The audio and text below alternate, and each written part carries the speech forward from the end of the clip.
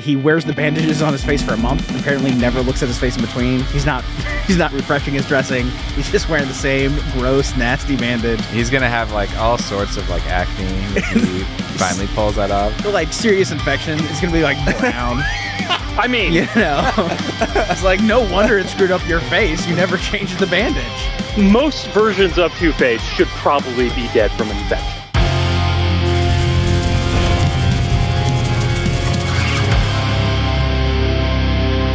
Welcome to Bat Lessons, the Batman History Podcast. I'm Brian, And I'm Alex. and on this episode, we're talking all about the Duke of Duplicity, Two Face. And to help us do that, we're joined by a very special guest, Jameson from A Comic Book a Day. Welcome to the show. Thank you for having me. Hopefully, I remember anything about this Bat character you're speaking of. are, are you are you excited to talk about Two Face with us? Actually, this is, I think, one of the better issues up to now of of up to where we are in the Golden Age when we're talking about Batman. So yeah, I'm more excited about talking about this than I would say like the next issue. Yeah, yeah, yeah. No, for sure. It, it, the we, we have ridden the roller coaster, the ups and downs, and there's been a lot of downs so far. The three, the Yes. three Daredevils. Um, I, I so we haven't been doing every single issue. Where what's Okay. uh, Oh, okay. You enlighten us about the three Devil Devils. Okay. I don't remember which one that is, but it's like three circus. They're all like Dick, grown up Dick Graysons, and they're committing crimes. Well, so I have to ask, do you do you have a favorite Two Face story? it has to be Long Halloween. It is, it is the quintessential Two Face origin. Mhm. There actually is a really good Two Face moment in the issue I don't like that's coming up. Oh yeah. What happens? Um, it feels like there's eight different stories in that one, and in one of them, he decides to go back to his fiance, who we'll meet in the issue we're talking about today, Mhm, mhm. Mhm. and he pretends he has the plastic surgery, but he he's Oh, only yeah. put wax over his, the side of his face, And there's a and candle. they're having yeah, they're having dinner, and there's a candle, and it's a really good panel of like a horror comic with his face melting on the half. And that's such a strong image that I wish his face was constantly melting. that is certainly That's one good. of the Batman moments of all time. Yeah, that is for for golden age art, really good. Sure. So before we jump into the first appearance of Two Face, Detective Mhm. 66, I wanted to talk briefly about George Roussos. This is an artist that we have not yet spoken about because it's kind of hard to know when he joins the Batman team. He is an inker that joins the Bob Kane studio in 1940. So that's two years Right. before where we are. But the thing is, is that at first he's inking other stuff because Bob Kane is still doing other stories, other strips for Detective Comics and for other books at National. And if you go by like the omnibus, right, where they have credits and things, or you go by DC Universe Infinite, George Roussos not listed under all of these issues. Like if you go back to some of the previous episodes we've done, the first uh, Penguin, the first Clayface, he's not there. But there are many, many interviews where Jerry Robinson is on the record saying that this is the time frame where he's inking things, and not only inking things, he's doing a lot of the backgrounds. So Jerry Robinson is going through doing character work, doing all the figures, and handing it off to George Roussos, who is penciling backgrounds, so buildings, rooms, things like that, and then inking the whole thing. Um, so it's a very collaborative art process, much more than an inker today would do. Right. So, so really quickly, can you uh, describe what an inker does? Are, are they just Sure. the person who goes over the pencils with the final? Funny enough, in what was it, the classic Kevin Smith movie, uh, Chasing Amy, he keeps Yeah. getting complained about that he's just a tracer. But it does, it, it is a very hard art form to try to try to get across why it's so important. It can really change the look of the art depending on what they're going with. Yeah. So uh, what what basically they're doing right is tracing over the pencil work, but also Mhm. When you have pencil works, a lot of times they could be sketchy. So like you might have like the line of a shoulder that could be drawn three or four times, and the inker's choosing the one that is the correct one, basically, right? It's like you're not erasing lines per se, but it's like Mhm. you're you're choosing the one, right? You're Yeah. you're sort of and in some cases they make artistic choices where they might change the art from the penciler. And the reason that you would do that, right? Because if you think about it, like if, if you're, you know, an artist professionally, Mhm. would you really want someone else to come in afterwards and choose which line is the most significant one or like make it less sketchy or whatever the reason you're doing that is to par- parallelize the work right to make it go Mhm. faster and also it has the sort of added side benefit of for the business side where they feel a little bit more like the artist is having less ownership to be frank like there's a little bit of divorce from you know that. yeah, this is not yours. This is the company's, right? There's not too much to say about George Roussos broadly, other than he was in the industry for a long time. So um, he was born in 1915. He joins Bob Kane's Studio in 1940. Um, he died in 2000, and by various accounts, he was still working at Marvel around the time of his death. It was either sometime in the mid 90s when he stopped. Some people say he was still working for Marvel as late as 2000. Um, he did- wow. yeah, That's crazy. for sure. so Very- he worked from like 25 to what, 85? Is that how I'm doing 85, yeah. math? Something like that. I love this industry, but with all creative art forms, we really do terrible things to to the creatives Yes. that they have to be. Sure, sure, sure, sure. The idea that like that someone long. would be at that age and, and not be able to afford to retire is is Right. fairly sad. I will say though, like uh the the sort of like market that he left on the industry is pretty incredible. If you look at like the people that he's you know inked before, like you know Jack Kirby and like you, you know um, John Romita and um, all, all those sorts of people, and you know Jerry Robinson. Um, it's a it's a pretty incredible um, career, and by the end was was doing coloring work, was doing digital colors on on covers for Marvel, right? Like it's, it's Okay, pretty- that's that's really impressive because then he would have had to learn the computer yeah, skill, exactly. which a lot of like old artists in animation refused to do, and you lost Yeah. like a generation really instantly. the reason I decided to bring him up on this episode is just because I thought the backgrounds were really good, and you know he was on my list to talk on, you know, during the golden age here. So as as we go through, just try to keep an eye for like some of the buildings or some of the rooms and things. Cool. And because of Bob Kane, it's so hard to know who did what on Batman It's true. Yeah. because crazy egomaniac. Have you talked about his uh, grave marker? we did not talk about the gravestone. Oh, Are you jeez, sure? jeez. We definitely talked about the plagiarism and, and Oh, yeah. the, all Oh, the yeah. Bill Finger stuff. Okay. Oh, you, you I've, can't. I've seen his grave marker, but uh, yeah, think it was yeah, in- it, it really gets across how what his ego was. Yeah. And then there's so many side stories about him. If you've ever heard the one about the uh, clown paintings, I did, yeah.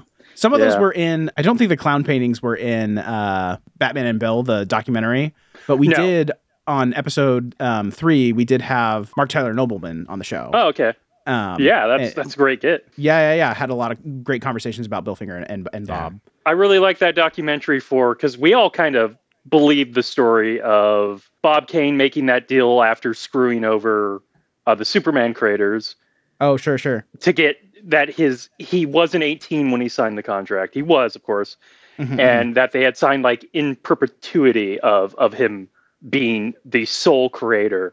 And when you watch that documentary, there's the the uh, lawyer friend, the copyright lawyer friend to uh, to Finger's granddaughter, is getting very close to saying there's no way this is true. The legality of that is like impossible. But we all kind of believed it. But if you think about it logically, like there's no way that would hold up in court. Brian, I heard you whistle a second ago. Oh, we have uh, we have never talked about this gravestone. You're just looking at 'cause the I'm, gravestone for I'm the first looking time? at it and it's like holy it's- smokes. Oh, it is fantastic to explain the ego of Bob Kane. Yeah, I mean, just like op- opening paragraph on his uh, gravestone is God bestowed a Yeah. dream upon Bob Kane. Blessed with divine inspiration and a rich imagination, Bob created a legacy known as Batman. It's like holy smokes! Like I've no, I've never seen anything like this before. You might have mentioned this before. Jerry Robinson would say that there was more Bill in Batman than there ever was Bob. Yeah, Yeah, for sure.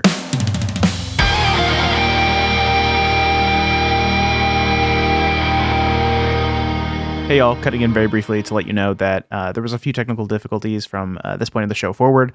Brian's laptop battery died. Uh, Jameson's internet cut out a few times. So there's some low frame rates, awkward transitions. Um, still think it's a great uh, conversation. Uh, hope you enjoy it.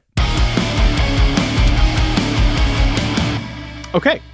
On that, I think we'll go ahead and talk a little bit about Detective Number 66. Ooh, ooh, Batman, Batman, Batman. So we open up on the title page, and uh, the subtlety is not uh, Jerry Robinson, Bob Kane, and Bill Finger- Finger's friend.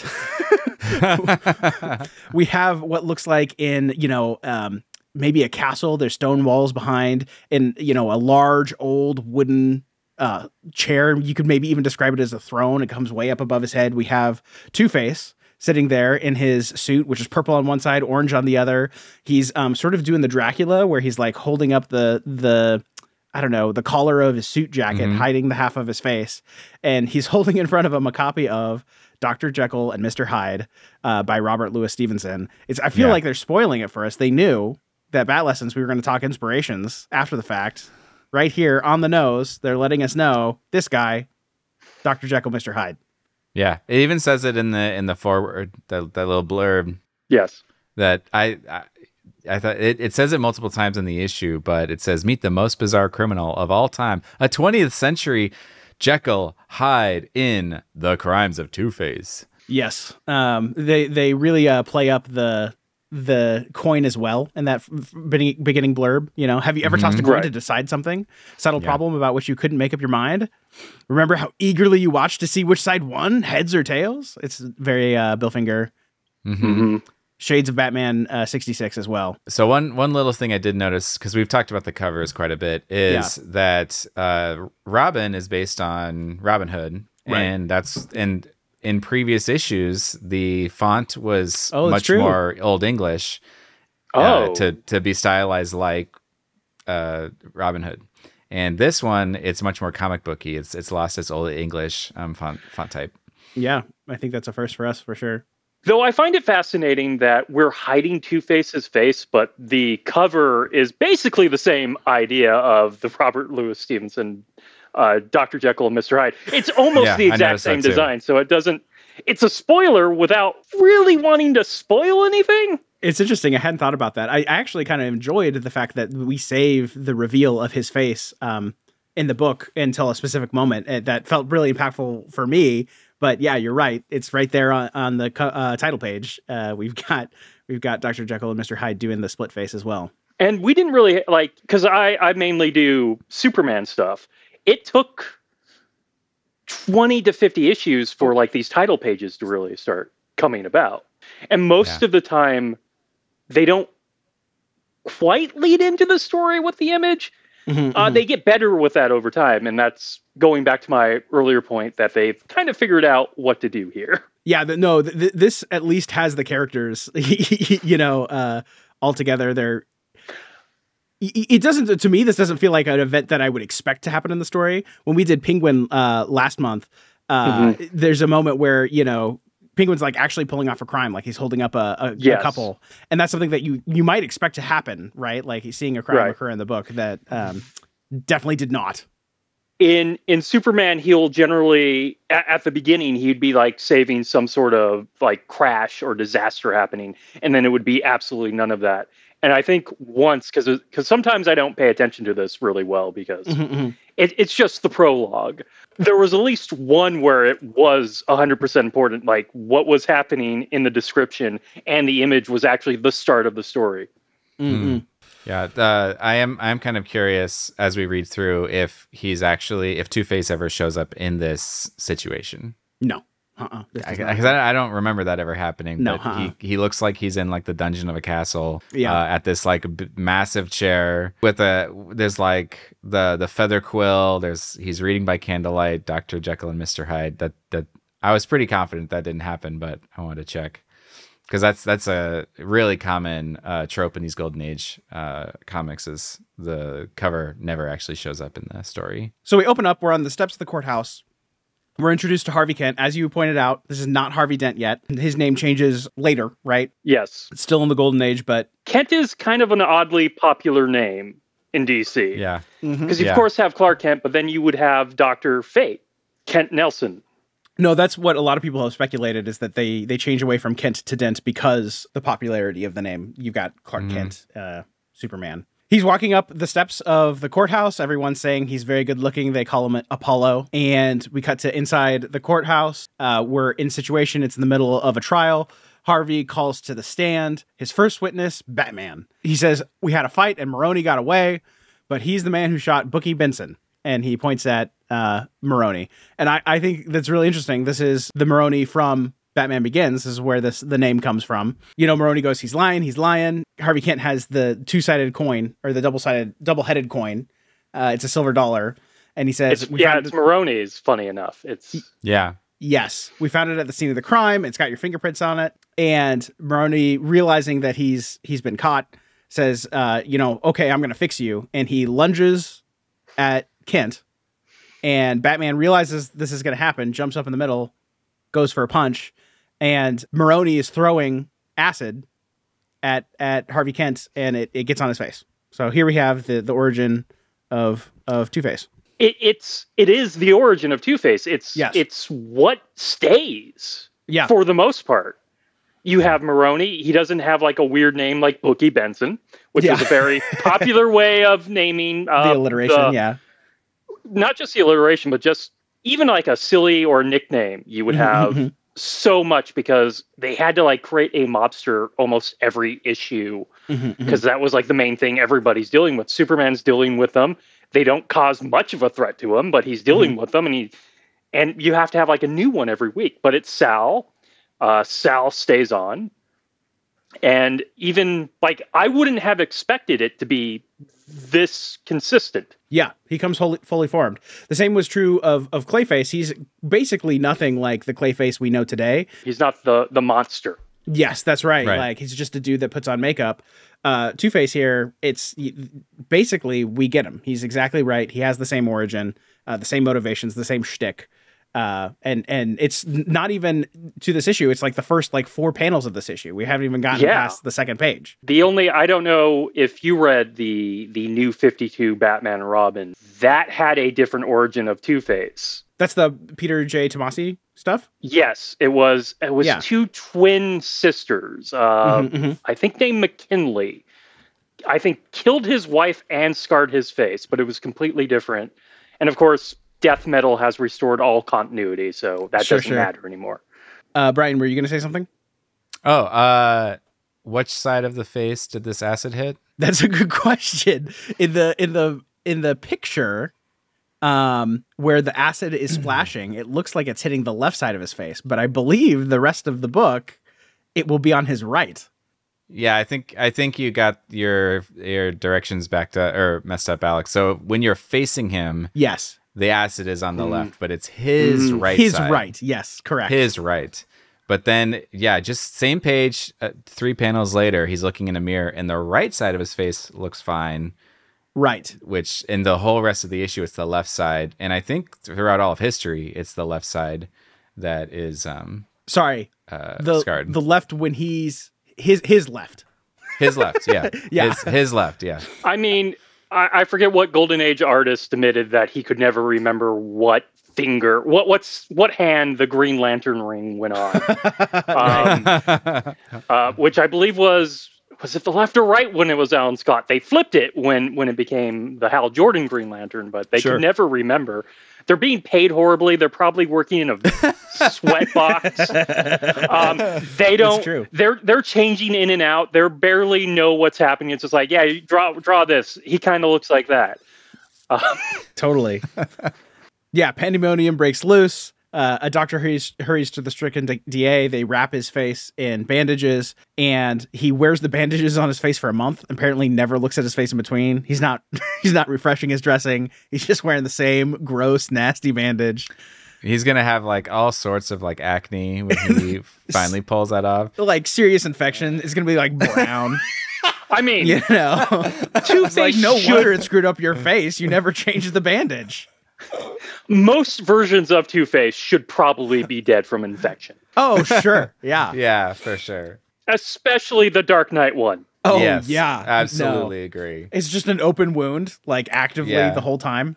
Uh huh. That's just like a blood loss problem. Uh, so they remove the bandage for the first time. He sees his face. We don't, though, right? Th- that's why we were just saying it's from behind. We're seeing. He says, "My face. The acid has left one side scarred and the other hideous." And there's a really interesting uh, line that I guess they they feel like they have to come up with an excuse because the the reader's going to think this. And the doctor says, "Oh, I know you're thinking about plastic surgery already. uh, but you know, there's no way, no doctor could possibly do it.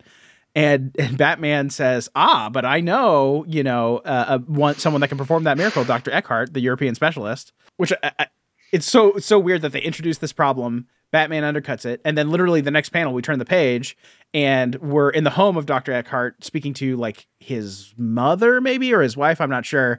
Um, and she's saying, "Oh, Doctor Eckhart, he went to visit his brother in Germany." Uh, long ago, the war started and the Nazis put him in a concentration camp. So we introduce a problem in one panel, we undercut it in the next, and then the third we uh, undercut it again. We reintroduce the problem, uh, and and the problem is is you know just really grim. Uh, World War II Mhm. uh, concentration camp. it's not only really grim, Batman doesn't seem to care. And and, and of course Mm-mm. it's hard to deal with these ideas going on at the same time of of of with superheroes who can essentially end this, but it is weird Sure. that Batman goes, "Oh, there's a guy in a concentration camp. I guess he's fine there." It's true, yeah. Uh, so uh, another kind of interesting, uh, I don't know, maybe not a synchronicity, but like a, a serendipity. Um, this Doctor Eckhart. Mhm. What's uh what's the name of the actor who plays Two Face in The Dark Knight? Aaron Eckhart Oh. Also, that's funny. That's not where my mind went. In a weirder reference, um, in Batman '89, the corrupt cop that Jack Nicholson shoots Uh huh. early on, played by William Hootkins, who of course played uh, Jack Porkins in Star Wars, is named Eckhart. no kidding, really? Yeah, yeah. That is, his name is Eckhart. He, he has that line where I can't remember the line very well right now, but he's like, "Hey, Eckhart," says it, shoots him. There you go. Huh. It's kind of Wow. crazy. That is crazy. Also, we didn't bring this up, but he's already wearing an outfit that's two colors on the side. Did It's he true. have Yes. this outfit prepared? I don't know. He's wearing it when when they start to take off the bandages. yeah. Yes. Maybe we're supposed to assume the acid changed the color of the suit. He's been And he wearing it for didn't has to months. change take- it for yeah. a month.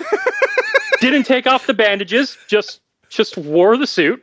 It's the whole left side of his body is scarred uh, be- because of the. ah, this is crazy. I choose to believe that he had it tailored because he knew that there was going to be a difference between the two sides of his face, and he thought he was going to play it off. It's uh, always a good start. I choose to believe. dot dot dot. But yeah, so he he goes home and uh, there's people on the street are just saying kind of cruel and horrible things, like "Oh my God, he's horrible looking," and this child says, uh, "Mommy, that man frightens me," and Boo-hoo. the mom is like, "Now, darling, we." Uh, he won't hurt you. he won't hurt you, and then thinks to herself, "A face like that would frighten me too."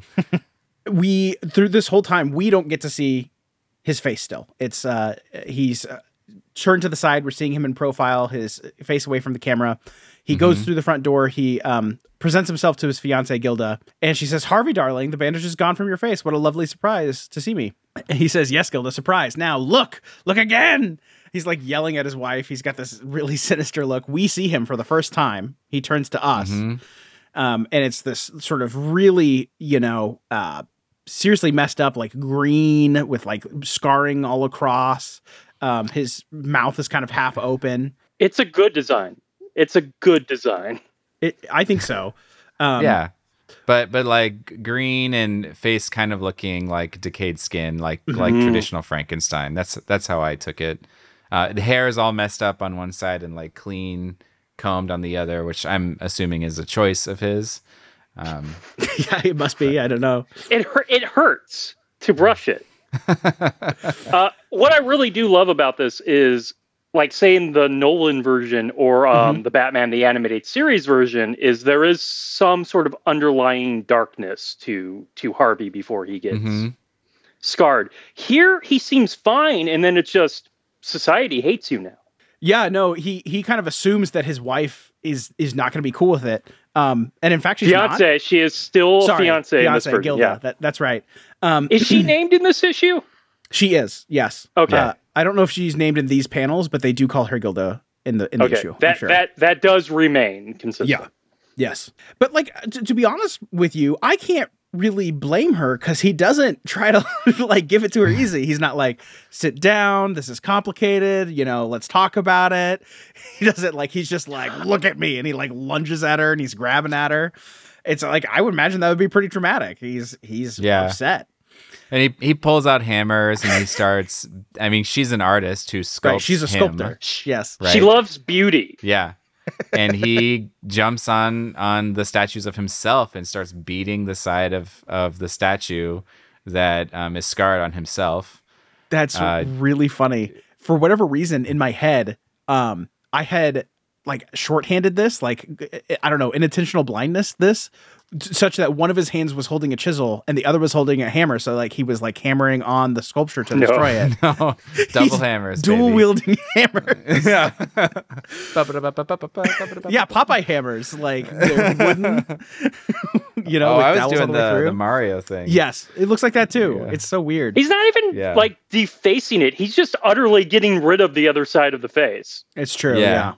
Well, it looks like it's gonna fall over, so he's probably like, yeah, destroying it. Yeah, he's wailing on it. So yeah, we cut to later that night, and he's monologuing. He's talking to himself. He's sort of disgusted with the way he looks. He's mad at the silver dollar, which, by the way, comically large. Like I don't know if you Yeah. noticed. You you need to be able to notice what it lands on. I guess that's fair. but he's like holding it between his like weapon. hand, uh, uh, finger, uh, forefinger, and his thumb, and it's like the size of his fist. Like it's Yeah. It's the size of his palm, essentially. Yeah, Yeah. it's huge. And he's mad at, at the coin. He says, You caused all my trouble. You know, Maroni's lucky two headed silver dollar. And he decides to scratch one of the sides. Two sides. Handsome like mine. Yes, thank you. How about you just read that whole thing? Two sides. Handsome like mine once was. Now one is scarred, ugly like mine. And then he chucks it through what that no, he doesn't chuck it. So he, this is was confusing to me. In his left hand, he still has the coin. He chucks something else. Looks like a beaker, maybe. Oh, weird. Okay. Yeah. Oh, oh, Whatever. I guess I don't know. Maybe that is the coin, but then what's that circle behind it? I I thought he broke a window and that's the that's like the moon, but no, he was It's a looking in mirror. Okay. I assumed it was a window in the moon. Wait, it's it's the not it's the not great guild uh, uh, golden age art. Yeah, I'm- exactly. yeah. I'm certain it's the mirror because he was just looking at the mirror before, and there's a bit later in this issue where he gets mad at one of his goons for not destroying a mirror. He makes a big Mm. deal about not having any Mm. mirrors in his hideout. Um, I blame No wonder he loses to Batman all the time. He's just he's just causing more and more uh, bad luck. Oh yeah, there you go. I thought you were going to say something like he can never see Batman come up behind him or something. No one sees Batman come up behind him, or he's doing a bad job. if they had mirrors, maybe they would. anyway, uh, he said, you know, wouldn't take much to make me one of the criminals now. A trick of the fate, perhaps, a flip of a coin, and why not? With the very coin responsible for my trouble. If the good side wins, I'll t- wait till Dr. Eckhart is free. Uh, the s- scarred side, and I enter a life of crime. I think this is interesting. You pointed out, Jameson, that Batman seemed super not worried. Like, oh, obviously Dr. Eckhart's going to get out eventually. Harvey Kent also assuming that that Dr. Eckhart's going to get out of the concentration camp. Uh, I can tell you, he does not show up in the next part. I don't think he's mentioned. Yeah, we haven't covered World War II at all um, in on the podcast yet, but I'm sure we will. Yeah, these these haven't really touched World War II yet. Well, that's the thing is that this this is just happening. So this is um, this issue is I think is June 1942. It's middle of the year. Mhm, So mhm. we enter the war December 1941. Th- The sort of United States, if you allow a tangent for me for just a moment about history, the United States, Yeah. um, through the free press, we're getting all kinds of information about uh, Germany, um, the anti-Semitism, treatment of Jews, even the concentration camps. Um, you know, all of that news is coming throughout the 30s, um, in into the early 40s. After we joined the war, um, at this time, summer of 1942, there has been free press, like public, uh, y- you know, journalism that's been done that has conveyed to the public that it's it's likely that there are millions of Jews who have died already at this point in the war, but the United States government hasn't hasn't acknowledged that. Um, they don't acknowledge the fact or confirm or corroborate that there are 2 million dead Jews until the end of 1942. So it may be the case Mm. that the writers are sort of in the state of mind where we're not sure what what's happening. Like we have a sense that something's happening, but we don't really have a full picture of the Holocaust. So sorry for that dour note, but like that might be why they're writing it this way at that time. Yeah, Mm. and a lot of them are Jewish immigrants. All of them. Uh, so Yeah, yeah. we haven't talked about this, but everyone in Bob Kane's shop, they're all second generation. So that they are Yeah. all native born Americans, but they are all Jewish Yeah. children of immigrants. Um, Mhm. Superman at this time, I'm pretty sure, has. They do a few times not naming the Nazis, but Nazi adjacent. yeah. Um, Hitler does eventually show up and he got yes. possessed by a thing that was like a gremlin. Hmm. Uh, and then there was the recurring uh, terrorist group, the the fourth column. The fourth that was column. meant. Yes, they were. Uh, they were an unnamed European power friendly who were preparing for the invasion here. Interesting. They just kind of disappear once World War II really kicks off and then Mm. ends. Yeah, yeah, yeah. You do get a lot more. I know. I know for a fact you get a lot more um, things about World War II and the Nazis and Superman than you do in Yes. Batman, but it does happen in Oh, yeah. Batman as well. Um, so we'll. I'm sure we'll have an episode where we go a little bit deeper on, on World War II because we have to to to cover some of that.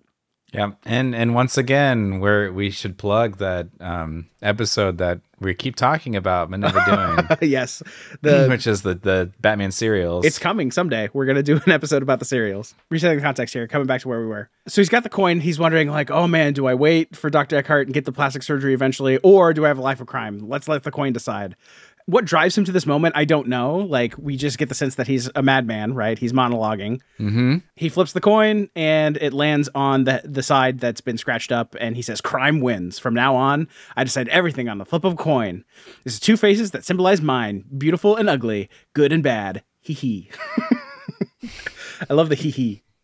Yeah, the the way they say that that kind of stuff, it's it's probably really common at the time, but now it falls funny on my ears. But the they do a lot of those hee hees and the ho hums and stuff like that. It's pretty funny. So yeah, then we kind of get like a little uh, splash, or I guess like a double wide panel of uh, you know Mhm. Two Face standing there looking kind of mean. hmm we cut to one month later, and he's in his new hideout. He's made a made a hideout. I don't know if you want to describe that, Brian. Oh, I would love to. Um, be, this I was actually just thinking this. Uh, reading this comic gave me so much greater appreciation for um, Batman Forever, which I already love. Yeah, But like all the Two Face stuff, they just nail right on the head. Like Yeah. they're using all the stuff from the they they've got the origin scene Mm-hmm. where he's got acid splashed on the face. He's got the coin with the scratches on it. Mm-hmm. It's not like burnt on one side like in the Dark Knight. It's just got those dagger scratches in it. Yeah. exactly like the comic. And then they've got his office here, which is just like his lair in uh, Batman Forever, where one Yes. side is like pristine and normal, and the other side is all dark and and messed up. So he's sitting there at his desk, facing on at the camera or the viewer or whatever. and on the left side, it is like a totally normal like lawyer office. there's a Uh, couch, bright lamp. bright colors yeah um, and then on the other side it's like everything is covered in concrete or burned it's just brutalist architecture um, and it's cracks and and it's scarred just like he is um, so but but it's like it lines up with his face and his his um, uh, suit and his desk and the walls and everything Yeah, right Here's down the, middle. question Mhm. Does he always have to stand like this? Because the theme is lost if he turns around. Oh sure. Oh, totally. Yeah. Oh, he's got to have great posture too, because if he just like tilts off to one side a little bit. it doesn't align with his chair anymore. That's a good. yeah, that's a I good always question. wonder. Same thing with Batman, but I wonder with all these characters who do like some serious interior design. Did they do it themselves or did they hire it out? Yeah, it's true. He's not like a crime boss in this, right? We don't see him have any goons, right? He's kind of like a rogue agent. So does he have Mhm. people that work for him? We don't say. not at not at this point. Yeah. Yeah. And then we have a montage. Like the rest of this page is him flipping the coin, doing good things. He flips the coin, he does bad things. He robs a bank, he gives money to an orphanage. We jump through a bunch of different people. It's such a good idea of yeah. I do a good I love thing it, or a bad thing. And then there's the debate you were getting to over like Mhm, is mhm. uh, Two Face good or bad? And I love this idea that they don't really continue. Yeah, Yeah. I agree. I totally agree. This is where I think Batman Forever didn't do it right. Yeah. because Two Face is in Batman Forever is just like bad, and it's either you die or you get let go. Sure. Or Whereas- he, there, there's the scene where he won't stop flipping the coin until he gets Mhm. the, the the the side he wants. Yeah. Yeah, And so uh, in in this version, I love this idea. It really shows the duality that like on one side he's still like a DA. He's he's like the the white knight or whatever, and on the other side he's a, a crime lord. He's a he's a mobster or whatever. And so it's it's not he does a bad thing or he doesn't do a bad thing. It's he does a bad thing or he does a good thing. So he's robbing banks or he's like stealing from people, he's killing people, whatever. But he also he he snatches a rival gangster's loot and gives it to a charity home. Yeah. Okay, it's He said, "Here, buy the kids some new clothes." Like I love the I mean that is like the pendulum swinging for real and I really like that Mm-hmm, that idea. and we see this little survey of like different figures. You know, there's a police officer, there's this businessman, there's an old lady, and they all have different opinions. You know, Two Face is a murderer. He looted my jewelry shop. Uh, he's a philanthropist. He paid off my mortgage, right? Mm-hmm. Um, so they're really driving it home. Oh, he does have goons. I, I didn't see that. Yes, he definitely has goons in this issue. Yeah, sorry. he- He he's going to be the corrected us. Rob.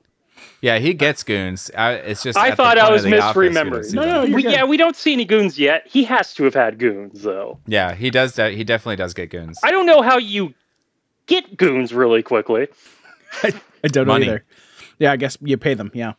Yeah. Um, so we cut to later, and the the goons are asking him. He says, "But boss, why do you flip the coin before we pull each job?" And he says, "The coin's two faces symbolize my two sides, good or evil.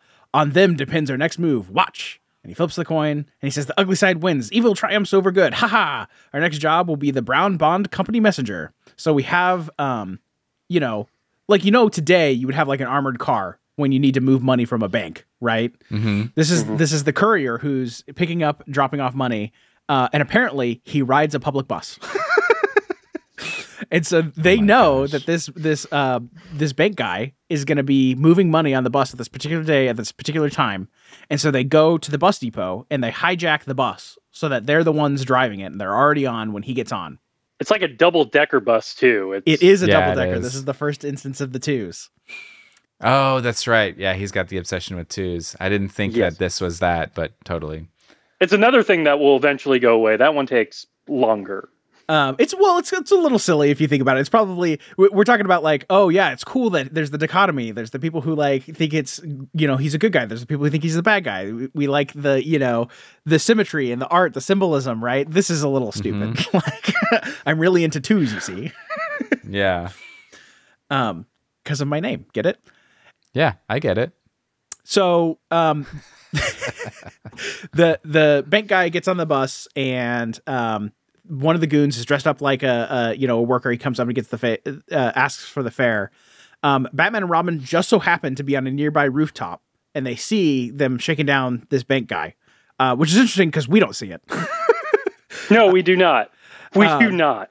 Eh, eh, And and and it's not here in this issue, but Batman and Robin being on a nearby rooftop and seeing someone get beat up is almost the default yes, right yeah, time. opening they of a so Batman. lucky. golden age story. Yeah. they're on patrol constantly, um, surveying the land.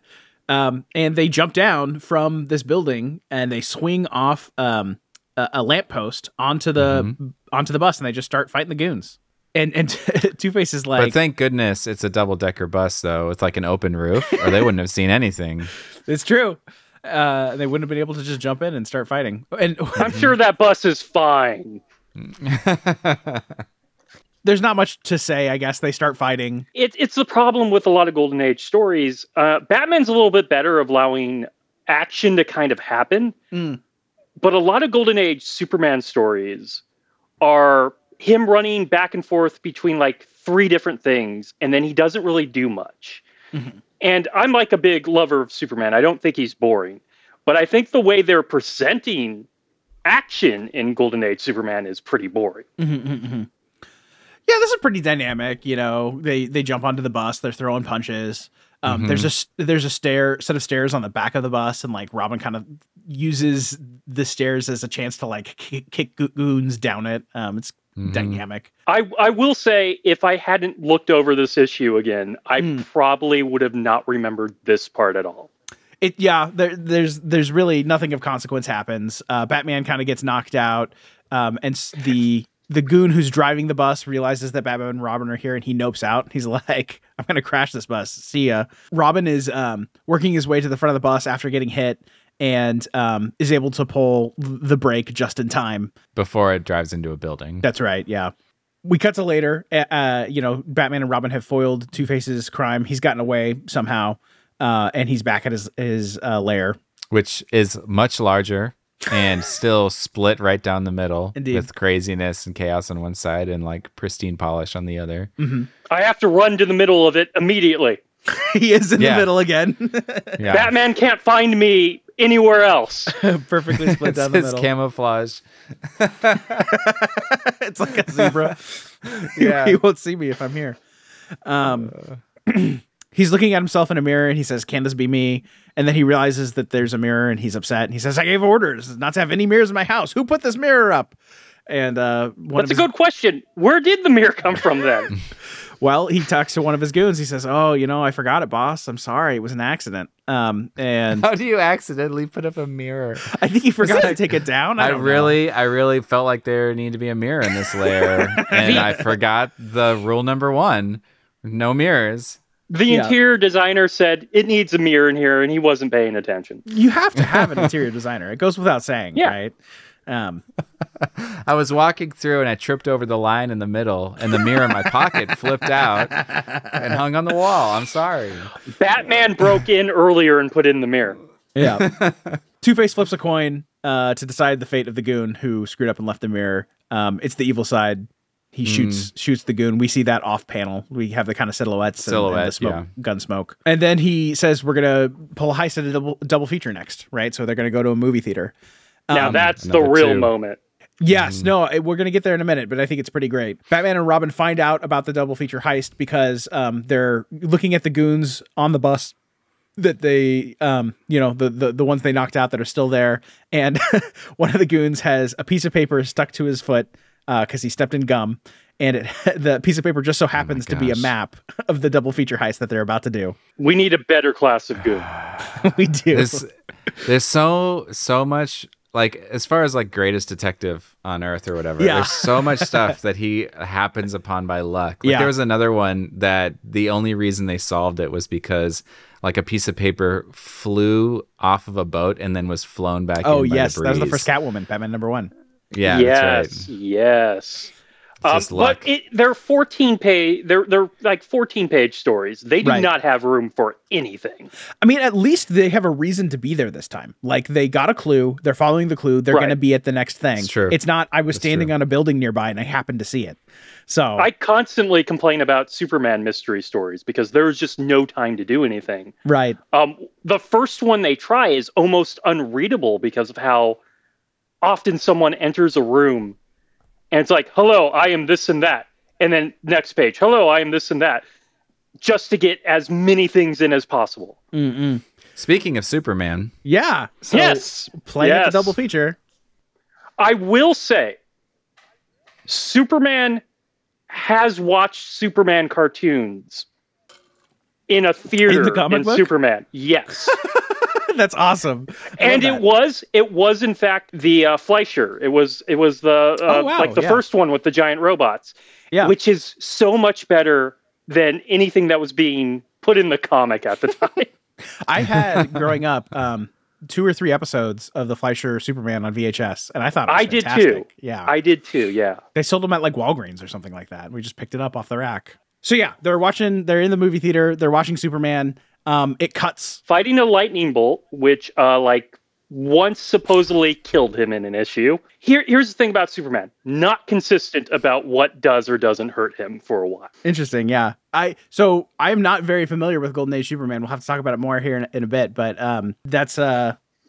It is interesting. I, I didn't read that as him fighting the, the lightning bolt, but I guess it makes sense. Yeah, it's it's a job for Superman. And the movie cuts, and everyone's upset. They're like, "Gosh, it was just at the interesting part too. The reel must have broken." And they, I think it's really funny. They start clapping for the the person who's in the booth to like fix it. Uh, I don't know if they're slow clapping, but uh, Have you ever been in a movie theater where where the movie has broken? yes, people Yes. are get upset. Yes. Oh yeah. Uh, Actually, I- it happened during the Batman for me. Really, me too. Yeah, it. Uh, uh, I, I, I had to come back because they tried for over an hour, and it did not work. Yeah, I used to work at a movie theater, so I actually fixed some of the the breaks. Um, I've I've seen film melt in half, uh, on up on the big screen and stuff. But Well, now now it's all digital, and they don't know how to work it. yeah, I, w- I was actually there for a transition edition digital, and I had to learn the systems. That's not that hard. I don't know what the No. problems are. It's it's. I mean, it's more it's more difficult than playing a movie on your computer, but like it's not crazy. Um, but but like with this issue where there the people are clapping, I'm curious if that was like a 1940s etiquette thing where like that was common because like to me it seems strange. Like I would never mean- clap Yes. if something bad happened like that. We clap. We clap when it comes back on. Sure. Yes. when the plane lands. Yes. So anyway, everyone's clapping to say that the the theater's broken. And we've got like the Inglourious Basterds moment Yes. where new new film comes in. We've got Two Face pops up and he he basically says, "Hi, I'm Two Face." Just so you guys know, uh, when you go to court later on about this, my name is Two Face, yeah. and we got to get the uh, brand I out there. give- that's right. Raise- that's what, raise that's what awareness. every good mobster does is they work on their brand. He's got his whole like style. He wears a suit. Yeah. Um, and so then he says, "My goons are going to come around. We're going to take all your money." This, get- get this ready. seems like a bad robbery. It just it's time consuming. There, there's places that probably have more money. Sure. Well, I, I I think it's really um, visually pleasing. Like he's Two Yes. Face is there. He's larger than life. It's very like um, you know 1984. It's very uh, you know what is it? Bill Gates behind Steve Jobs at, uh, Yes. at Macworld Oh or yeah, yeah, whatever. yeah, Big Brother. Yeah. yeah. like I, I don't know. It's just a cool set piece. We haven't really had a bunch of the sort of um, you know trademark Bill Finger, you know, gigantic typewriters, gigantic records, you know, over the top set pieces, and I think this is sort of starting to lean into that. It's something that's still plausible, but like it's just a cool visual moment. There's a a panel here where uh, Batman is sort of intervening, and he swoops in on uh, a rope over the top of the crowd, and we're seeing the top of everyone's heads, and um, you know, there's a spotlight shining on him. Two Faces is kind of in the background. It's just like visually very pleasing. Like I don't know how to describe it. It just looks cool. Yeah, yeah. Visually Mm-hmm. pleasing is is exactly right. And Mhm. sometimes in the golden age, because especially with how short the story is, they kind of have to condense things, so you don't get like a lot of great visuals sometimes. Yeah. So this issue just gives you one really good set piece. Mhm. uh, that's that is memorable, and you will remember as you continue through these issues. Yeah. And and I I so when I first read this, I got to the point where they swapped out the film, and as a like former projectionist at a movie Yeah. theater, I was like, that's not how that works, because he'd have to like pre-film and bring his own film to swap in, mm-hmm. and like there's setup to do that, and but then Maybe they had the reels ready to go. You don't know. I think they did. Like they acknowledge it. They said like in the projection booth, and they're they're they've got that little conversation between the goons, and Robin jumps in, and so I was like, okay, maybe they actually do know what they t- they're talking about. And the the second thought that I had is to the 1942 reader, mm-hmm. this probably hits a little differently than it does for us now because theaters were like the only way that you saw movies. Mm-hmm. That's right. Whereas now we can watch them at home and stuff. And so I I'd be curious to know more about uh, someone of the time, like to go back in time, get in my DeLorean and Sure. go meet someone and see how they uh, like perceived the situation because it might seem much more like normal and reasonable and and yeah that they're always packed so we will get a lot of money like it makes sense whereas now Yes. it's like you go to the theaters and they're often not full you know and it's just a co- uh, consistent reel. The movies just keep going. You walk in whenever. Right. It's Right. The Nickelodeons, right? Yeah. Well, uh, I don't think this is Nickelodeon technically. This is more like the matinee, where like you'd have Mhm. like you'd have a serial, then you'd have a serial, then you have a newsreel, then you'd have a movie, then you know they're just kind of going. Oh, that's right. I, I get those. I kind of combine those in my head. No, the Nickelodeon's the one that you, it's like that's would be like on the boardwalk, right? And you go Yes. and you pay Right. five cents and you watch. you look into it. r- Right? Yeah, yeah, yeah. Yeah, I I um I think at some point when I was young I learned it incorrectly and it's really stuck and I can't get it to let loose. No but worries. I think you pay like a nickel and you sit for however long you feel like in a theater. No, but no, no. I mean, not- you that's not right. You you still pay not as much as you pay now, Right, but with inflation. I hope not.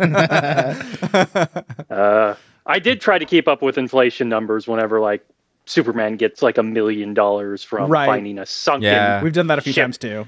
treasure. Yeah, we did that with a it was a painting in Hmm. the last one, I think. There were two, yeah, Watteaus, where they were called. They were five hundred thousand dollars a piece in nineteen thirty-seven dollars. It was like forty million. Which turned out to be like like, yeah, tens of millions of dollars now. that. yeah. Mhm.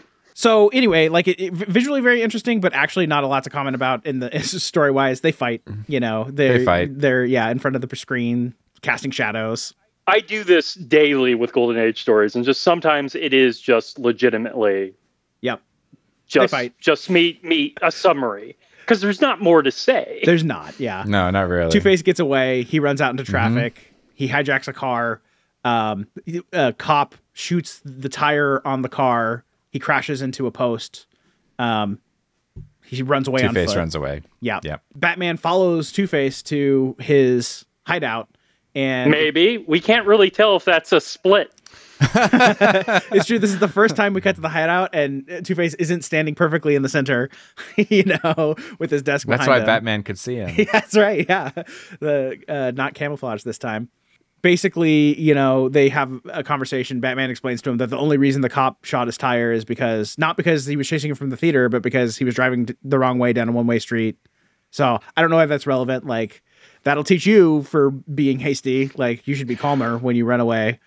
We're we're we're aware that the story needs to get to a climax. We just whatever get get him to com- be confronted. He's not getting away this time. No, they're just they're just filling panels uh, at this point. Two Face draws a gun and he's gonna shoot Batman. He's sticking him up, and he says, "But I've got to flip the coin first, right?" And he flips the coin, and it perfectly lands on its side.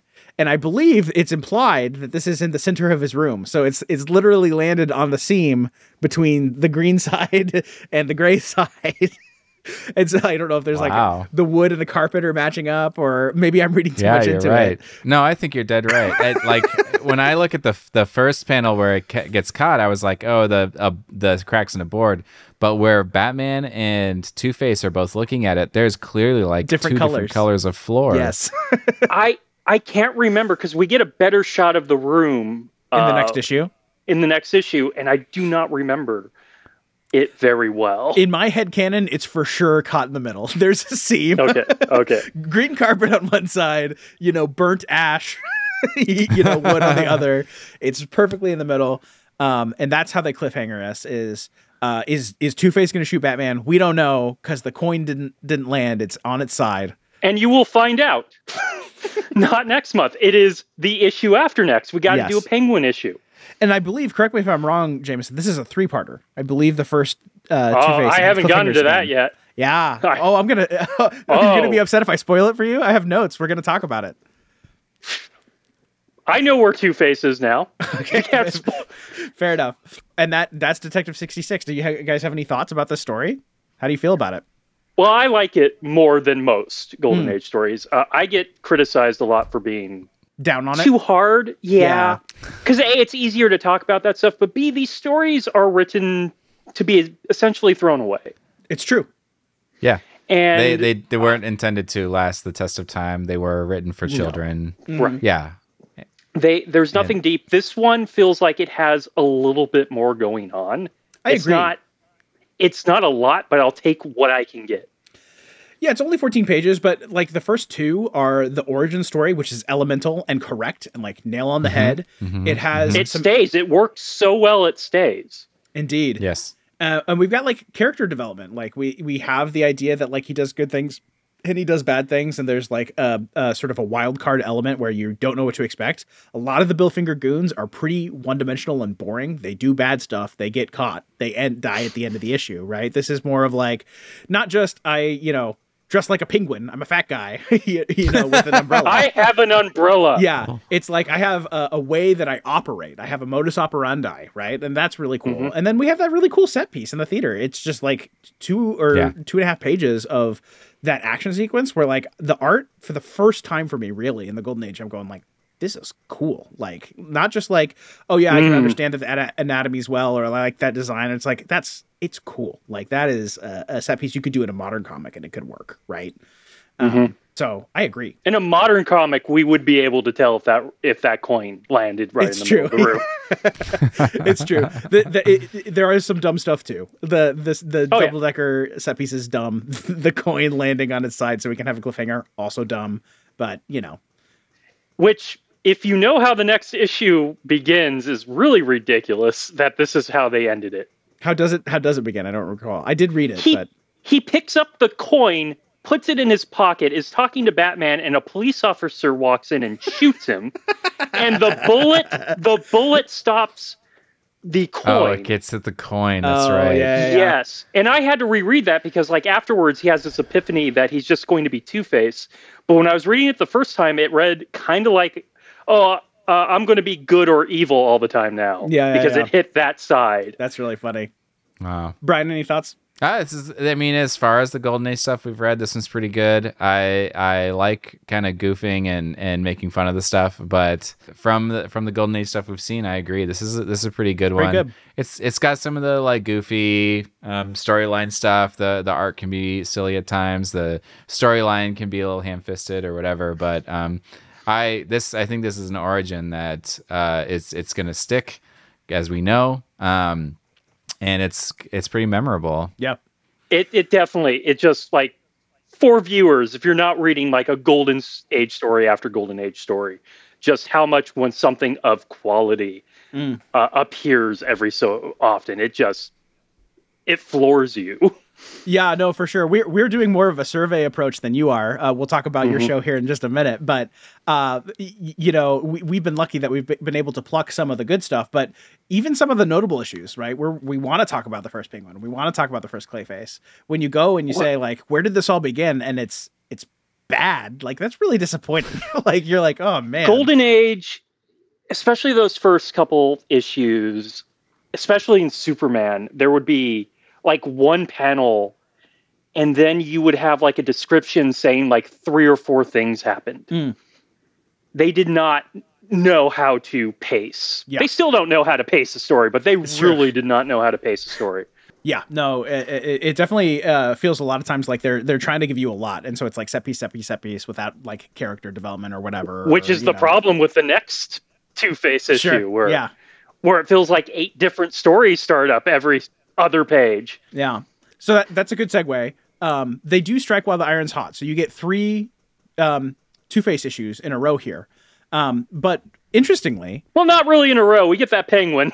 it, it's true. There, there's a few other ones in between, but like um, within a few months of each other, and they're they, they go together. Like they're all continuations of each other. And for me, I covered Batman 13 and the three Hmm. stories in that, each one a different week. Mhm. Uh, so it felt like forever Sure, between those yeah. two stories. Yeah, yeah. No, that that makes sense. But Two Face only appears in the Golden Age seven total times. So there are seven Mm. issues containing Two Face, which is a lot less than other ones we've covered. So Penguin 34 Mhm. times, Catwoman 16, Joker 62. Do you know what number recurring villain, if we're counting uh, recurring villains, he Hmm. is? so for us, he's like the fourth we've covered, I think, or fifth. Um, so we're still early in terms of retur- recurring Mm. villains, but Yeah. We, we got, there's Hugo Strange, there's Dr. Death, yeah, Penguin, Clayface, Catwoman, Joker. Joker. Joker. I think that's it. Yeah. So he, so he's possibly the sixth. Yeah, really soon here. Oh no, no, no. Uh, Scarecrow happened in December of. 42, Oh, that's right. That was the first one or forty one. Scarecrow. Scarecrow, December of Hmm. 41, I think. He's it, that's in World's Finest, uh, number three. So yeah, the reason that he only appears in the Golden Age seven times, I, I think, is not because he's a successful character. I think people really did like him, or at least I, that's the vibe I get. It's that at the end of this first three issue arc, they give him a happy ending. Right, so he actually decides that he's going to be good. Oh. He ends up back with Gilda. Sorry, I'm sorry for spoiling it for you. It Um, that sounds like an amazing story. It's great, but what it means is that they're reluctant to have him to return to crime. So how do you do Two Face stories if you've redeemed him? And the answer is that we have like stand ins. So in future Golden Age Oh. issues, there are Two Faces that are copycats. They're not actually Harvey Dent. Um, so, Harvey Kent. well, so he he will become Oh, Harvey Dent how quick- eventually. I don't know. it- I, I think yeah. in a, a couple years. It's not long. So yeah, that that's the gist. That's why he's only appeared seven times, is because they kind of didn't know what to do with him. They didn't want to make him evil again, um, which obviously eventually happens. But um, I kind of stand with it. I wish they would have they would have stuck with it. it's hard when you do, when you're doing something for Yes. eighty years, right? But I Um, my biggest hot take yeah, is I think a lot of runs would be stronger if we just accepted that they were their own continuity. oh sure, yeah, that's probably fair. Um, yeah. I mean, I love it. But like right now in Batman Alfred's dead. So Right. Just have him alive. We don't have to explain how he comes back. See, that's the thing, right? Is that if you accept that this is a capsule, right? That that that like this continuity is its own thing. You you would Mhm. think that like it would let people be a little bit more at peace for having it be its own. You can always go back. We're going to do another thing, right? But what happens is that that continuity doesn't match the one that they like, right? So like New Fifty Two, no, no. you've got Zero Yeah. Year. Uh, everyone gets really upset. They're like, "That's not my Batman," and then all of a sudden they're having to, they're having to reboot, right? Anyway, Yes. Let's talk a little bit about the inspirations for Two Face. We always try to go back and get quotes from all the people who were in the room. Unfortunately, that doesn't really exist for Two Face. So, so a lot of times we can get Jerry Robinson or Shelley Moldoff or you know- Robinson was very vocal near the yeah, for, for like especially after Kane died. It's true. He well, and he made it to the internet age. So there are lots of like YouTube videos and podcasts where he's on the record, and he put out books, right, um, where Right. he w- was interviewed a lot, and he does say things about Two Face. We had a quote on the Penguin episode where he brings up Two Face as like one of the reasons Batman had early success, and he does have quotes that I was able to find where he said, "I worked on you know the first appearance of it," but he doesn't say anything beyond that. Like it was interesting, and I and I worked on it. So the only quotes I have here are from Bill Finger. Not sorry, not Bill Finger, Bob Kane. Not no, we did not. Um, yeah, like right only before he died, people started finding out who he Right. was at conventions. there's only three Bill Finger interviews that are known um, that that Ooh. survive. Yeah, and so Two Face doesn't talk about him. The first quote I have is from Creators of the Superheroes, which is the Tom Andrae book. Tom Andrae, the ghostwriter for um, Bob Kane's autobiography. Brian, do you want to read this quote from Bob Kane? Sure. Uh, I created Two Face. He was he was based on Dr. Jekyll and Mr. Hyde, who combined good and evil in one person. I saw the Fredric March movie when I was a kid. Two Face was inspired by that. I hadn't read the book. In collaboration with Bill Finger, I came up with the idea of his flipping the coin to see whether he would be good or evil. You can't trust any of that. No, you. I know. You can't. You can't Yeah. really trust Bob, Bob Kane. It's true, but to me, this is kind of believable because um, we have a corroborating quote. This one is Oh. unattributed. Unfortunately, like Les Daniels does this a lot um, in the complete Batman: The Complete History. He'll talk about you know I haven't gotten around to reading that yet. it's a good one, but but Les Daniels is not great about citations. He doesn't says who said okay, it or okay. when it was said. I mean, right? I'm bad at that too. Um, so it probably is repeating something that Bob Kane said, but here, here's what, say, what he says. He says, Two Face was Bob Kane's brainchild exclusively. The obvious inspiration came from Robert Louis Stevenson's 1886 tale, The Strange Case of Dr. Jekyll and Mr. Hyde, and Kane specifically credited the 1932 film version, which won an Academy Award for actor Fredric March. He may have also uh, noticed publicity for the 1941 remake starring Spencer Tracy, featuring a symbolic image of a face divided into uh, good and evil halves. And so here And that's poster. we have the poster, yeah, and it looks like Clayface to me. Uh, I don't know, Brian. Do you want to describe it? Two Face. Sorry, Not Clayface. Two Two-Face, Face. Yeah, As soon as I start hearing inspired by a movie, yeah. I immediately think Bill Finger because Bill Finger was always So- um, apparently at the silent, especially the the international ones, Yeah, um, a lot. I, I will say that I believe more um, that Bob did, you know, was in, inspired by movies than he was by books. Like we we don't have any Mhm, evidence that Bob was an avid reader. We know that Bill was. Well, I meant So- Bill. Bill was the big movie guy. Yeah, I understand. Um, Yeah. But like there, there are times when Bob's on the record saying like I was inspired by Zorro, right? And that doesn't make any sense, right? Right. Because we we know he wasn't a big reader, right? And so that's probably Bill who's being inspired by Zorro, right? I mean, if you've read Grant Morrison, how Grant Morrison puts the creation of Batman in their uh, autobiography history, just talking about how much all of this is ripped off from something and how it Oh, just didn't feel creative. Yeah, we're gonna hang tight. Oh, okay, okay. um, I'm impatient. no, no, no worries. Uh, y- y- you know, who who knows? Like, I don't want to say that it was Yeah. definitely Bob, but I will say that like they were on the nose. Like, it's not like they tried to hide it. The title page was. Dr. Jekyll, Mr. Hyde, the book. It did have a picture that looks like this poster. So whether it was Just Bob's like it. idea or not, th- the fact that it was inspired by Dr. Jekyll, Mr. Hyde, and maybe this this movie rings true to me. Like whoever was inspired, The face feels is right. reversed here. it's true. the Yeah, left side is kind of Frankenstein. Yeah, so so the the what's his name Kent from uh, the DA Kent who got acid on his face was Dr. Jekyll and Mr. Hyde, and I don't know who the heck was in the rest of that comic book issue because hey, the faces are backwards, there you go. the scars on the wrong side. He he was never really scarred. It's all a prank show, and they just see if he's going to notice. They just apply the makeup while he's sleeping. There you go. um, so you alluded to it a second ago. Like, there's a lot of, and we we do this on a lot of episodes. There's Yeah. a lot of rumors about what they ripped off. Everyone thinks like that a given story or given character is a total ripoff. It's all plagiarism. Like Bob Kane, Bill Finger didn't have an original, you know, thought in their head. Um, we talked about it with Penguin. We talked about it um, with Batman itself. We've talked about it on numerous occasions. And and uh, Two Face, n- no stranger, not an exception to this rule. Uh, we might as well make it a segment on the show. Plagiarism corner. Woo, the shadow! Yes. So there's a there's a few different claims out there that are floating. Jim Steranko wrote a book, History of Comics. Um, i- It's widely considered to be very trustworthy. I, I like the book a lot because he he does get direct quotes. He's one of the people, one of the three interviews that we have with Bill Finger.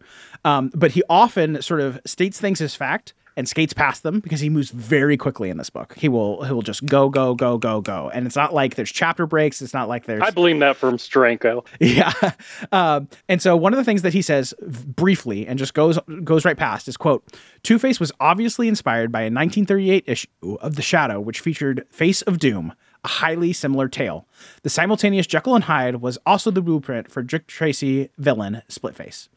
So um, and th- that's a case where like literally two sentences juxtaposed. Like one, he's talking about the Shadow story. The next one, he's talking about Dick Tracy Dick as an Tracy. example of how he's just going right.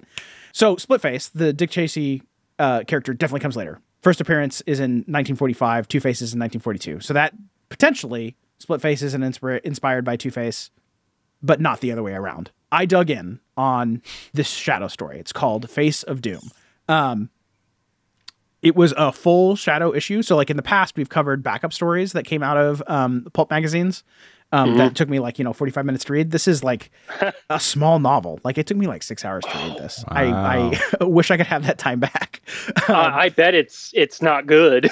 You know, it has its moments. I would say, honestly, the first like third of the book is pretty good, eh, like paced well, and then they have like three third acts. Like they they basically don't have any more story to tell, but like they need pages to fill, and so it's just like Oh gosh. action sequence after action sequence of like false ending. Um, and so that's pretty rough. But you know, there was some cool ideas in it. They're getting paid by the page.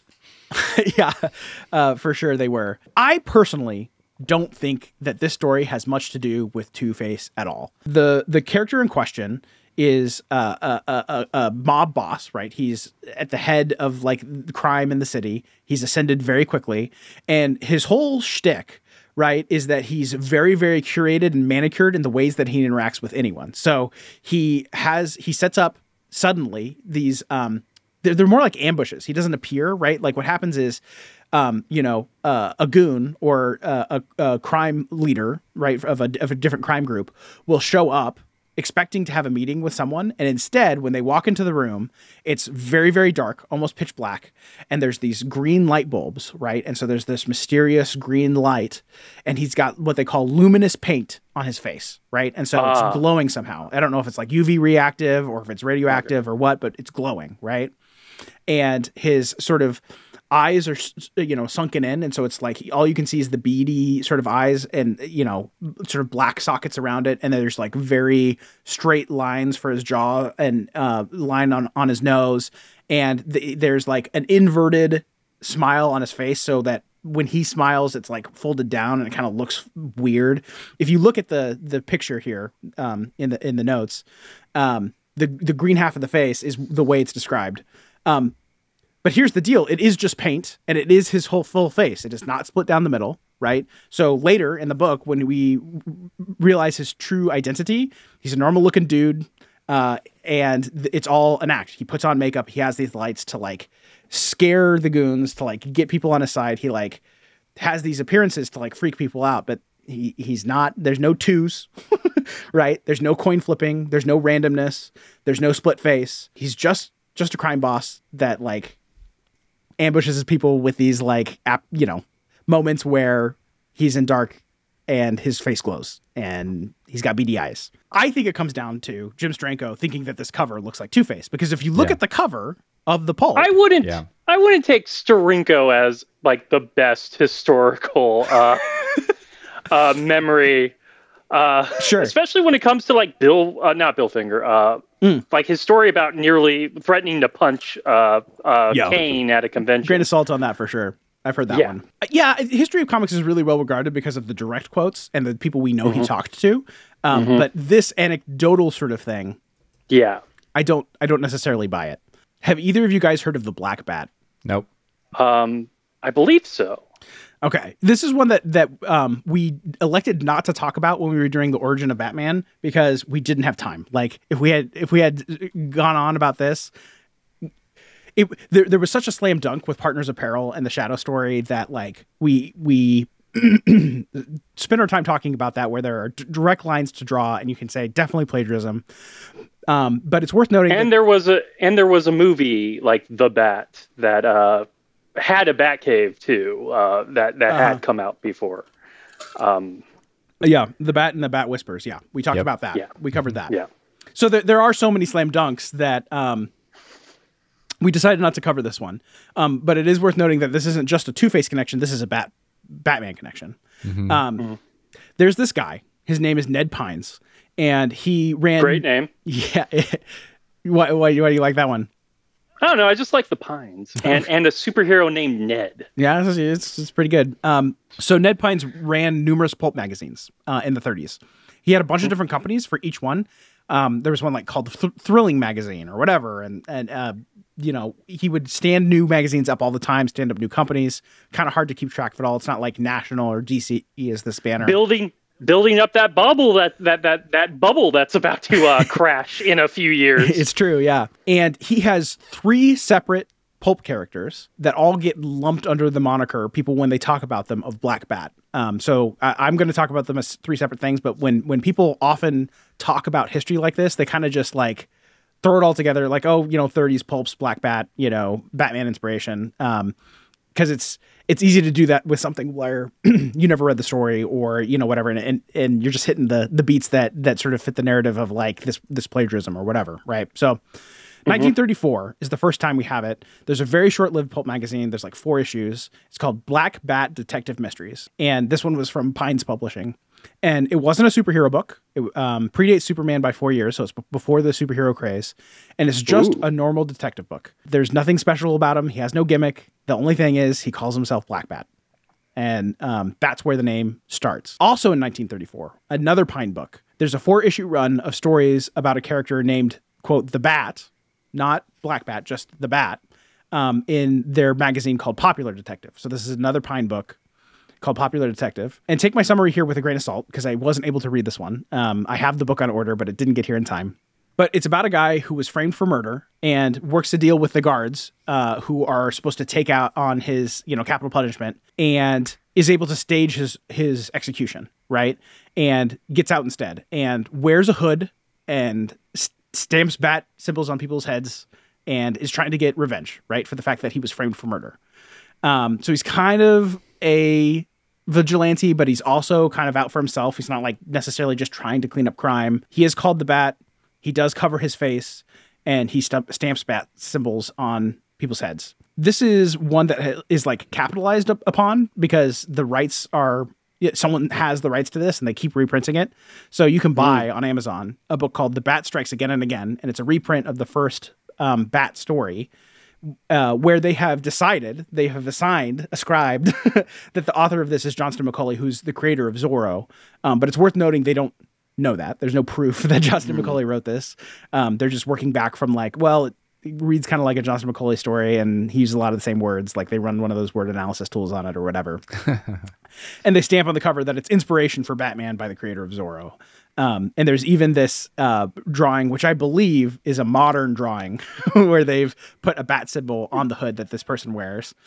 I'd say that's definitely not from that time. No, yeah. Yeah, I agree. So, you know, kind of a vigilante, kind of bat named, does come, you know, five years before or four and a half, whatever, um, the first issue, Detective 27, which is n- 1938. Then, in September of 1939, which is after, after the first Detective Batman. 27, yes. Probably inspired by the success of Superman, Pine creates a new character called the Black Bat. So he has the name of the first character, right? Probably just reusing the name because they own it, right? And they make uh, a pulp series called Black Book Detective. Jeez. And Uh, that sounds bad. yeah, yeah. Um, Uh, and Batman would have the black book. oh, yes, the Black Case book. Yes. Yes. Um, we haven't covered that. Uh, so I don't, Brian doesn't know that one. no idea what you're talking Mm. about. We're gonna, we're gonna. So I have been trying to decide if we're gonna do an episode about Zur-En-Arrh or not soon, but I think we, I think we might. Yeah. Are you reading right now, Batman? I am not. I'm behind. I read I read um Failsafe, the first Okay. Zdarsky. I have Which I have does deal with Zur-En-Arrh. it- yeah, I know I know that's a thing that Zdarsky's doing, but I um um ha- Yeah. have not uh, I'm not caught up. So yeah, the character is a cape and cowl. And if you look at the I don't know Brian, do you want to describe how this character looks on the cover? This is the first issue of of uh, that includes the Black Bat. Yeah, so we've we've got a, a dude um, who I don't know. He kind of looks like a, a butler slash butcher because he's all white, but he's got a, a a black bow tie and he's got these like purple rubber gloves, and he's got a knife in his hand and he's just kind of like looking over his shoulder, like what's over there? It's it's this dude who I mean he kind of looks like a combination of Zorro and Batman because he's mm-hmm. got like Yes. the cowl definitely. without The without cowl the looks like the ears. Zorro. Yeah, looks like the Yeah. Cowl, but he's got like a cape or something like a cape. He's wearing all I think it's a black, cape. kind of like a burglar. Um, it's even got the scalloping on the wing, the the It cape, does. but he's got the gun, which Mm-hmm. Batman only does a few times. Kill those vampires. Yeah. and the and this not Batman Batman character is uh, holding a body up that is obviously dead with a knife sticking out of his chest. Um, and this I don't know butler butcher guy is in the act of trying to kill or stab a uh, a fair maiden who is uh, laying laying I don't know unconscious or asleep in front of him with uh was that like a night nightgown on or something like Nightgown, that? sure, yeah.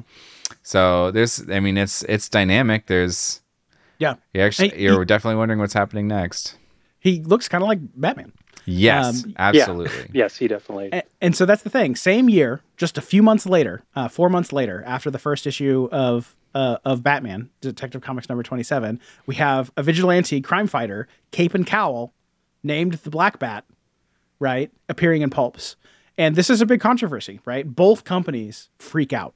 Um, so, according to Bill Finger, um, in uh, this is a direct quote from Steranko's History of Comics. He says, "quote There was a lawsuit almost pending. It was a weird coincidence. Apparently, this character had already been written and on the drawing board.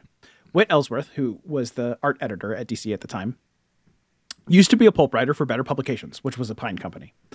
So through Ellsworth's intervention, a lawsuit was averted. They had uh, they were ready to sue us, and we were ready to sue them. It was just one of those wild coincidences. So they're upset. DC's upset that there's this vigilante Batman, you know, bat themed hero, and um, Pine and and Better Publications are upset that you know there's a comic with with the Batman in it, right? And my and they got beat. Right. Yeah, it came out first by just a few months, right? My understanding of the agreement that they had, that Whitney Ellsworth worked out, was that Better Publications agreed that their Black Bat would never appear in comics, and National agreed that their Batman would never appear in pulps. Um, so they basically tried to stay out of each other's way and averted a lawsuit that way. So we didn't talk about it because it happened after. Is it an inspiration? I don't know. There's better cases for other inspirations, right? Um, Yes. why are we talking about it now?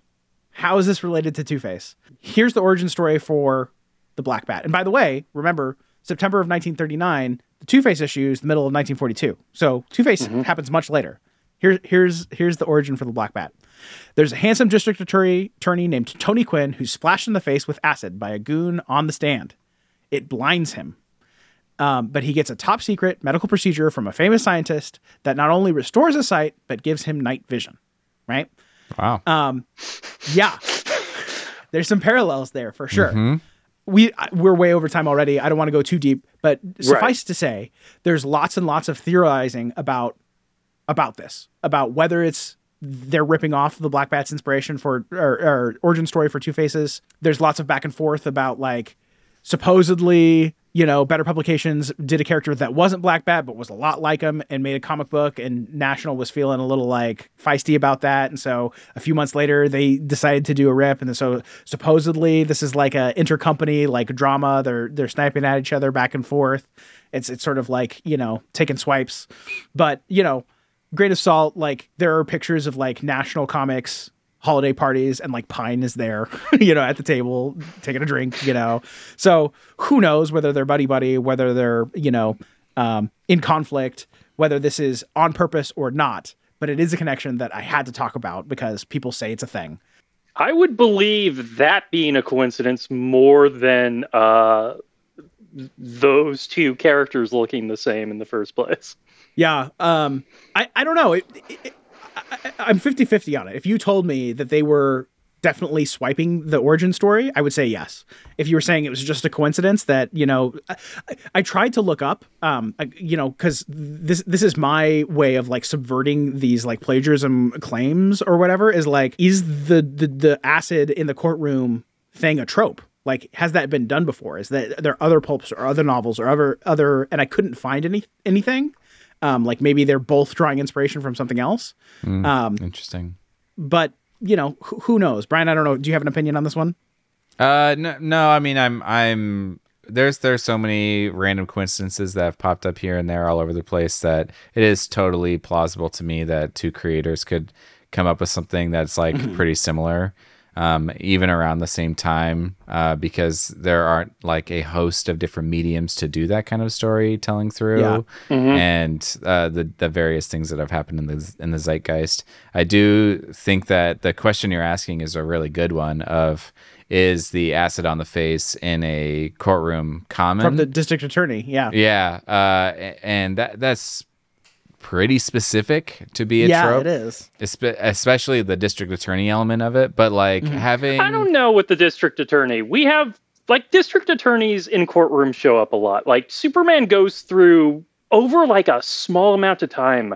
Um, there was uh, election stories, like two or three, about who was the new Metropolis Mm. DA. Clark, I think, becomes the DA for a short time. Really? He, uh, I might be Is he a lawyer? no, I he might have been. I'm trying to think. It might be the police commissioner, or those are two separate stories. There, there's one where they keep killing somebody, Yeah.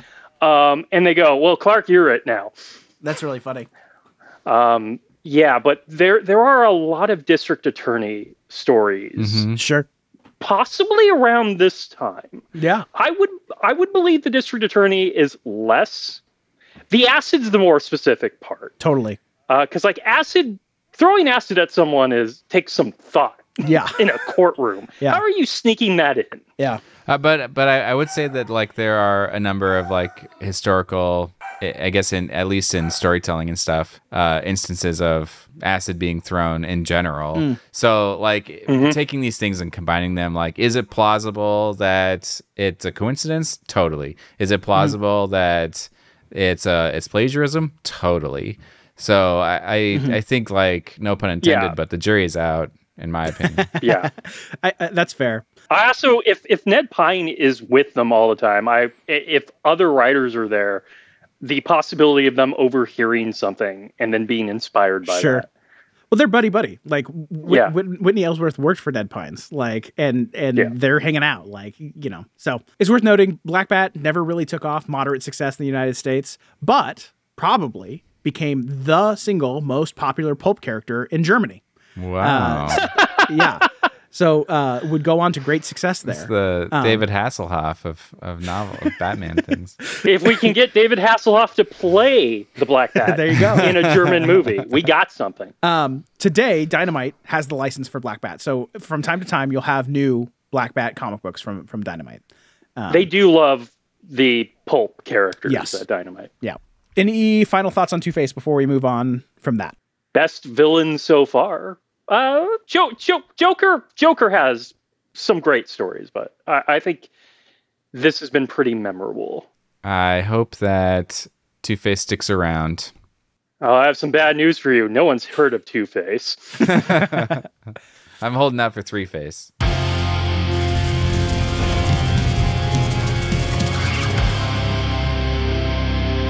So tell me, a comic, a comic, uh, or excuse me, a comic book a day. Where'd you come up with that? What's the elevator pitch? Um, tell tell our listeners. I was bored one day and uh, I thought, you know, I have the ability to read most Superman comics and I kind of want to make the claim I'm a Superman expert. Mm. So I decided that I was going to read a Superman comic a day and then I was going to write about it and that was going to be a blog. Um, so I started that. What started getting a problem to that is a it's really hard to figure out uh, when like say a action comic or a superman comic really came out uh, compared to each other Mm-mm. but like action comics starts off as like a 60 page well action comics is a 60 page comic but only one superman story Right. uh, the superman comics are four superman stories that are uh, that's 60 pages and that would take a while to do Mhm, every day. Um, and then after I want to say six months, I decided to do it as a video because I thought I'd get more people to actually watch the video. Mhm.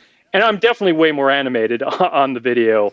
Uh, at first, I was still keeping up the blog, but eventually the website was having some problems, Mm. and I kind of gave up on the blog. I do stay about two weeks ahead. Um, I they're, they're they're a hobby. They don't take more than thirty minutes for me uh, to do, uh, including editing. Uh, I just really want to learn about Superman and how he changed, and I, I, I love the idea of being able to go. Well, you see, in Superman like forty, this and that happened. The the one the the problem Mhm. is the changes and everything are very subtle. Like when he starts flying, Mm.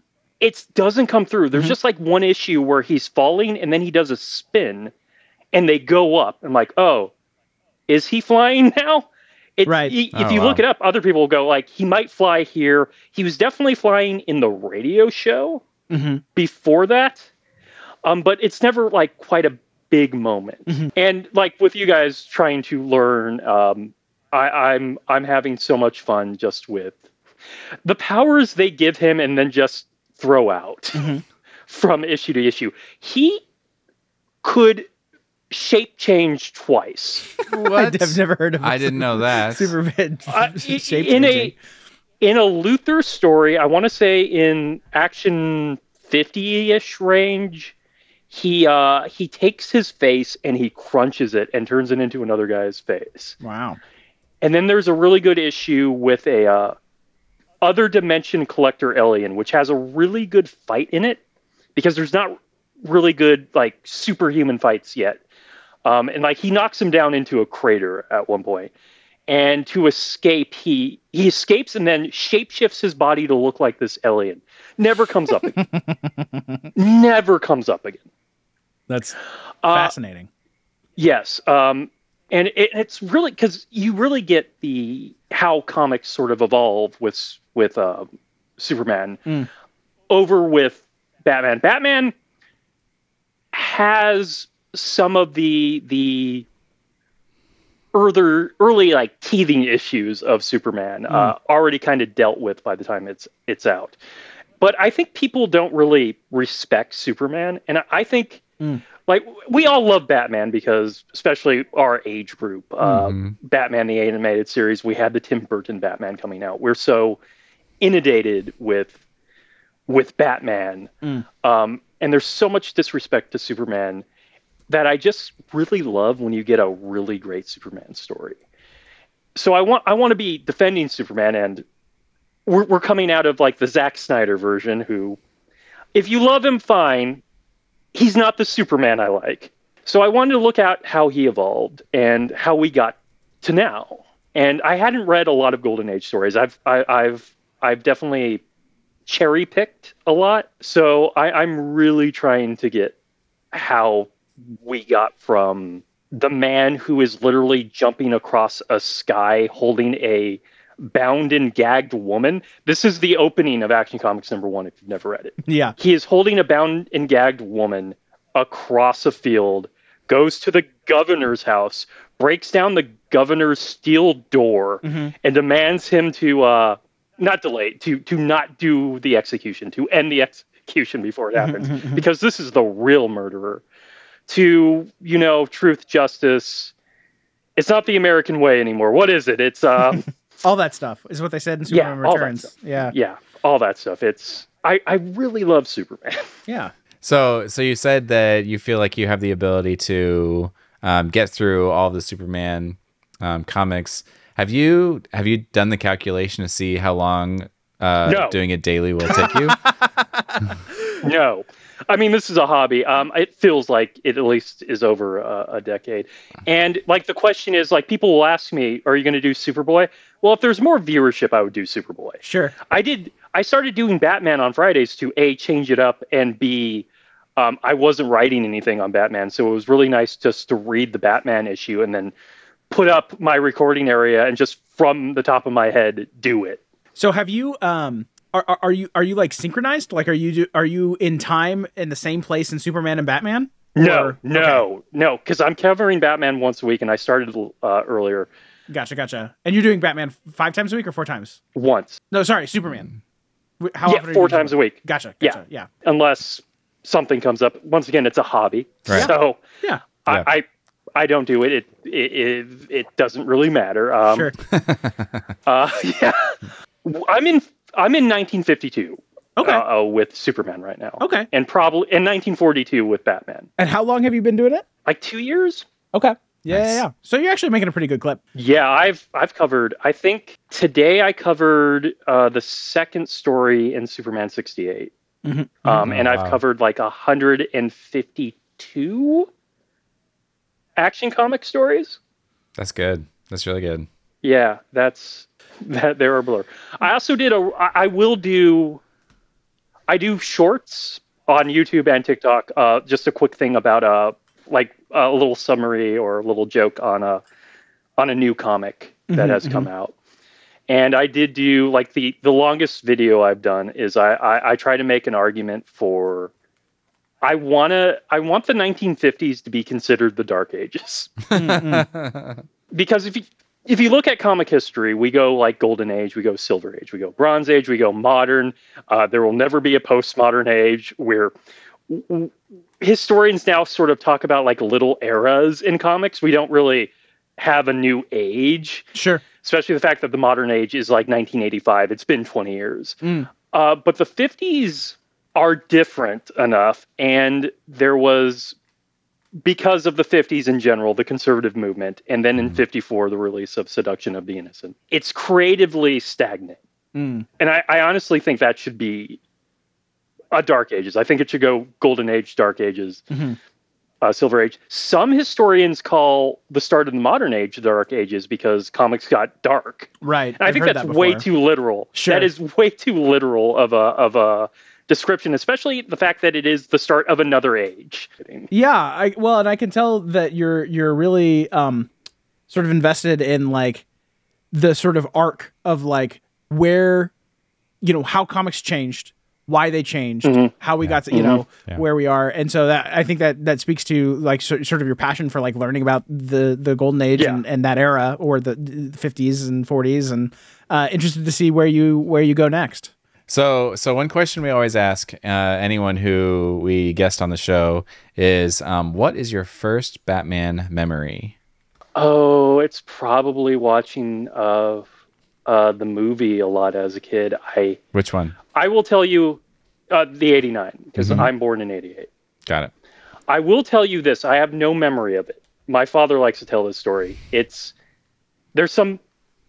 It happens during the Rodney King riots. Mm. Um, it was it was on television. I'm like 3 Mhm. Uh, uh, there there's something going on. Something of people are are in the streets. Things are being broken. hmm I apparently stood up and shouted, "Where's Batman?" that's pretty. That's pretty solid. I mean, that's Yeah. endearing. if my child did Yeah, something like that- that, I'd be pretty happy. Yeah, so that's, and then of course Batman the animated series. So Mm-hmm. we had Yeah. I mean, it was hard not to be into Batman Mm. at that time. Yeah. Totally. Definitely. Well, uh, Jameson, thanks for coming on the show. Thanks for having me. Uh, having me. I hope some of what I have said has made it into the recording. Um, uh, but yeah, I that was fun. Hey, Bat Family.